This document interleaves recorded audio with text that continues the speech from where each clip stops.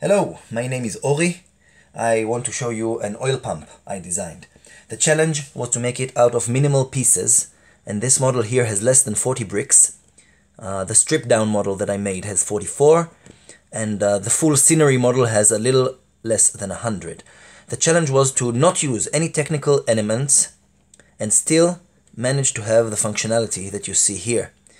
Uh, and I think I made it quite nicely. There's a turntable be hidden behind the quarter circle. And there's this finger element here but no technical elements whatsoever.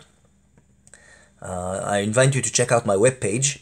There is a picture there are pictures of the full render there and also uh, an LXF of both this model and the stripped model with less bricks.